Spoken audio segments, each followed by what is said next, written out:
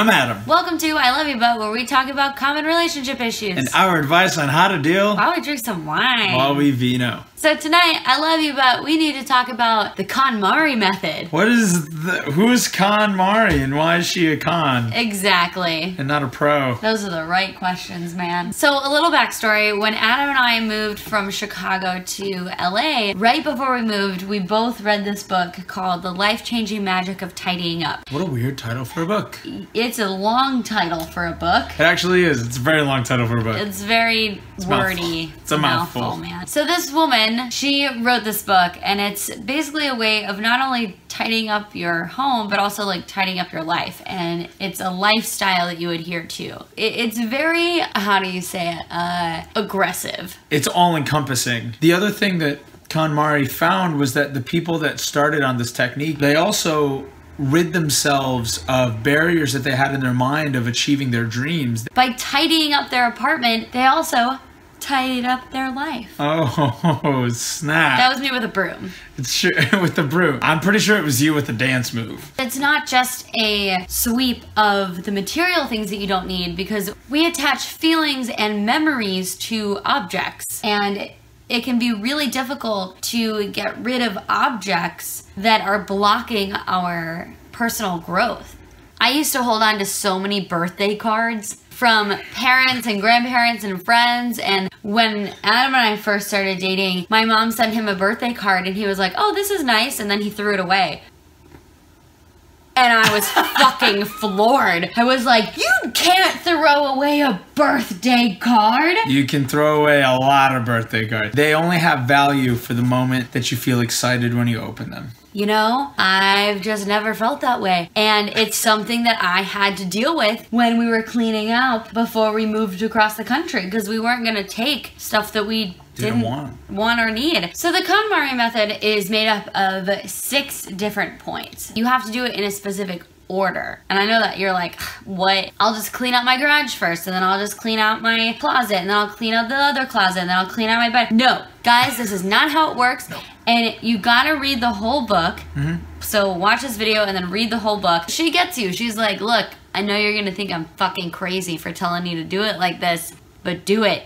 And Got to. by God, you better fucking trust her because she knows her shit. First, you have to commit to tidying up. You have to do it all at once. You can't be like, well, I'm gonna do it here at Christmas, and then I'll do it at Easter, and then I'll do it on summer break. No, you need to do all of it at once. And what she says, what is at once, because, you know, people have different lives and different size homes and things like that, you have to do it within a six month period. And, you know, we've had one bedroom since we've lived together, so we could do it in like We did it a weekend. yeah, we did it pretty quick. But once you're committed to it, you just want to get through it. It feels great. It can be exhausting though. The second step, the second level of the KonMari method is to so you commit yourself and then you imagine your ideal lifestyle, what you want to do and the things that are important to you and your ideal job and all the things that you want to do in your life and what your home should look like. Visualize. Yes, visualize your goal. That's really what this one is. We've all heard that word. all it is. Visualize what you want your home to look like, what you want your life to look like. Really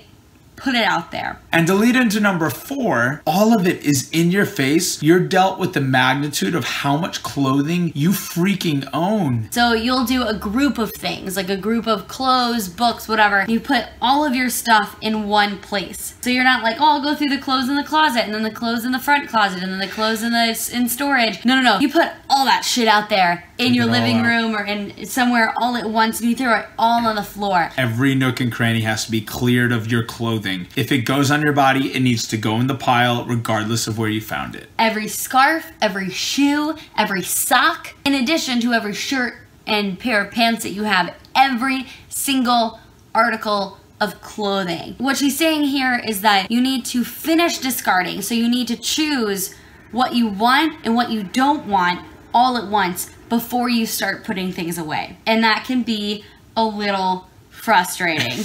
I gotta tell you, it is shocking. It makes you realize how much you have. and follow the order that she tells you to tidy by. I can't stress this enough. She wants you to start with clothes for a reason. Clothes are a little bit easier to get rid of than some other things. And you're like uh no that's it's difficult to get rid of clothes. I know. I know it's difficult to get rid of clothes. Clothes is difficult. It only gets more difficult from there. Once you get to the end you're like oh i wish i was still on clothes. And then you move on to books because sometimes you have a good memory of a book or whatever, but I still Yeah. feel like those are easy enough to get rid of. Hmm? And then you move on to papers. And then you move on to, I guess, what she calls like the miscellaneous stuff, but it's all the tchotchkes, all of the personal things, the birthday cards, those things, and you really have to go through each item individually. And there's no certain amount that you should or should not keep.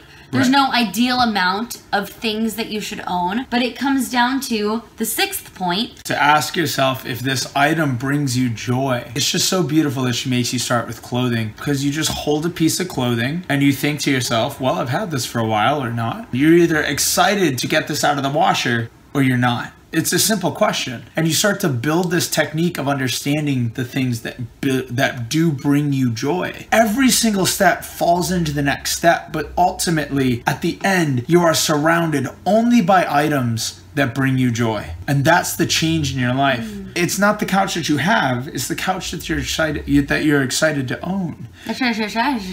The, it's the couch that you're excited to own. And if you are not excited to own that thing, if if you are not excited to have that thing in your home, get rid of it. out it goes because getting things that don't make you happy out of your apartment or out of your home is 10 times more important than making sure you have a second coffee table. I'm a person that attaches a lot of nostalgia to certain objects. I'm not saying I'm a hoarder, okay? You're not at all. I'm not a hoarder, but I will hold on to things longer than necessary because whenever I look at that thing, it reminds me of something or someone or a certain time. Those items are still very difficult for me to get rid of. And it took a while to have that feeling ingrained in me or that not even that feeling that like that process that the decision making process of mm-hmm.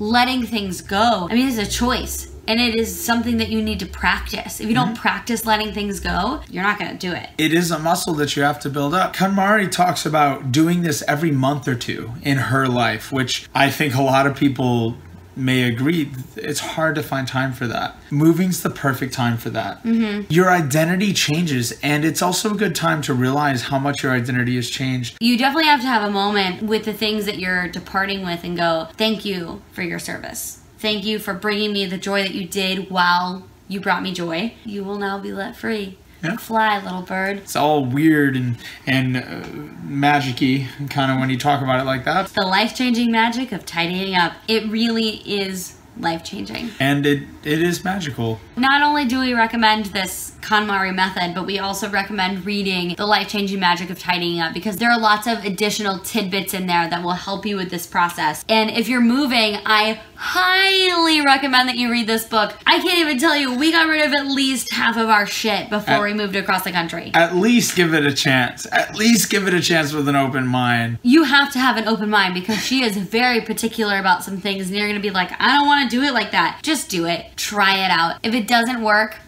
I'm sure it will. It but if it doesn't work, leave it alone. But it probably will, and then tell us what you think about it. If you've already read this book, if you've already done this method, let us know how it worked for you. If it didn't work for you, I'd be very curious to know. Super curious. Yeah, we want to hear success stories and your I disagree with this entirely stories. Please tell us that. I would love to learn about your experience. Like, comment, subscribe, share with your friends. Let us know if you're moving. Let us know if we can help you out with anything while we're moving. We'll drive our Priuses over and put a few boxes in the back and be like, all right, and then cart them over for you. But have a beautiful rest of your evening.